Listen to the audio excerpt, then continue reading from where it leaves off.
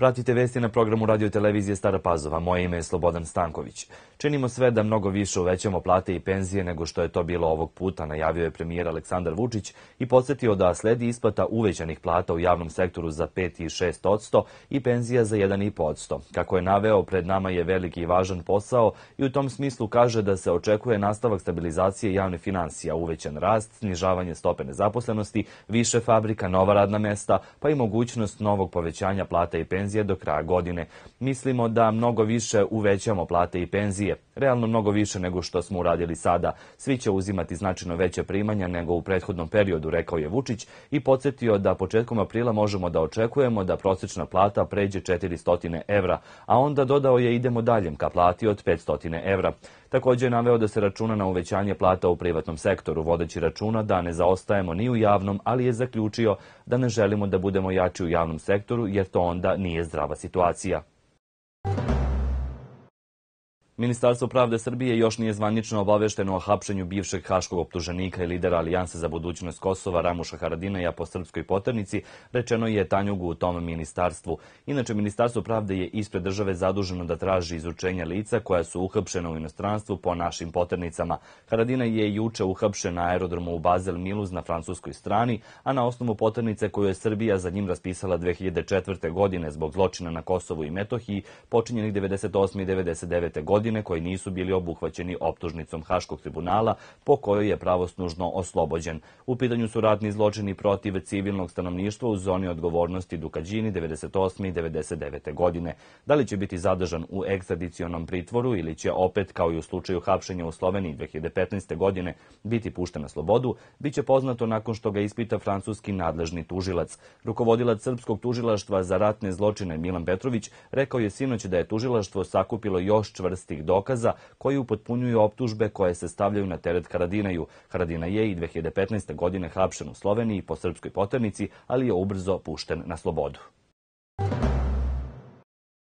Meteorolozi najavljuju ledene dane. Autoplani u Staroj Pazovi kažu da korisnici ne treba da strahuju. Na vreme je odrađen remont, kompletan sistem daljinskog grejanja je ispravan i ove sezone nije bilo nikakvih problema. Stanovi su topli, u vreme državnih praznika greju se neprekidno 24 sata, a tako će biti i u vreme predstojećih veoma hladnih dana. Tokom božićnih praznika u petak 6. januara na Badnji dan u ambulantama opšte medicine i pedijatrije u Staroj i Novoj Pazovi i Starim Banovcima organizovana su prepodnevna i popodnevna dežurstva od 7 do 12 časova i od 12 do 17 časova. U subotu 7. januara na Božić lekari opšte medicine u Staroj i Novoj Pazovi biće dežurni od 9 do 15 časova, u Starim Banovcima od 9 do 13 časova. Pedijatrija će u subotu raditi samo u Staroj Pazovi u vremenu od 9 do 15 časova. Apoteke Doma zdravlja prate rad službi opšte medicine i pedijatrije, tako da će građani biti u mogućnosti da podignu propisanu terapiju. Služba za hitnu medicinsku pomoć radi sa pojačanim ekipama za vreme praznika, a raspored rada je postavljen i na naslovnoj stranici sajta Doma zdravlja www.dzspazova.rs. Srpska pravoslavna crkva obeležava danas praznik koji se naziva Tucindan. To je praznik koji uvek pada 5. januara, dan pred Badnji dan, odnosno dva dana pre najradosnijeg hrišćanskog praznika Roždestvo Hristovo, odnosno Božić. Toga danas se kolje ili priprema pečenica, odnosno pečenje za Božić. Za pečenicu se obično kolje prase ili jagnje, a uz to neko još kolje i priprema pečenu ćurku, gusku ili kokošku. Veruje se da je običaj vezan za klanje pečenice, verovatno ostao iz stranih mnogobožačkih vremena, vezan za prinošenje žrtve. Crkva ga je prihvatila i blagoslovila jer posle Božićnog posta, koji traje šest nedelja jača hrana, dobro dođe, pogotovo što su tada izuzetno jaki mrazevi i zime. Na Tucindan, po narodnom verovanju, decu ne valja tući jer će cele godine biti nevaljala i bolovaće od čireva. U hramu prenosa moštiju Svetog oca Nikolaja u Starim Banovcima u toku je završna faza radova na oslikavanju unutrašnjosti crkve. Trenutno se radi freska pokrov presvete Bogorodice, a u planu je još i rođenje Hristovo u desnoj pevnici, kao i bogojavljenje u levoj. Crkva se oslikava kao barokna crkva, a ne kao vizantijska, po blagoslovu episkopa Sremskog Vasilija.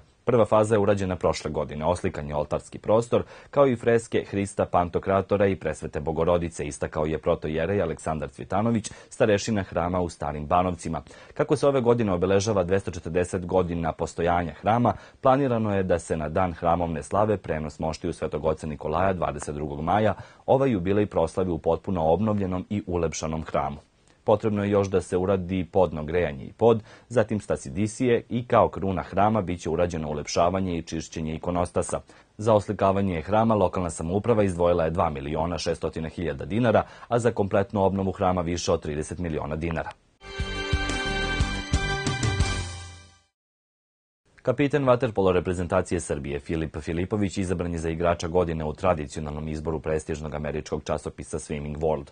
Filip je bio najbolji igrač na olimpijskim igrama u Riju, gde je Srbija osvojila dugo čekano zlato i kompletirala sve titule za koje se borila, a krajem decembra proglašen je za sportistu godine po izboru Olimpijskog komiteta Srbije. Ovo je drugi put zaredom da srpski igrač dobije laskavo priznanje, pošto je najbolji u 2015. godini bio Duško Pjetlović.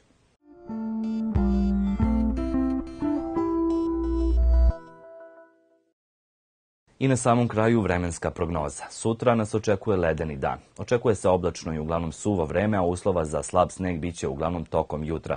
Duvaće umeren do jak severozapadni vetar. Minimalna temperatura minus 11, maksimalna dnevna minus 8 stepeni. Pratili ste vesti. Hvala vam na pažnji.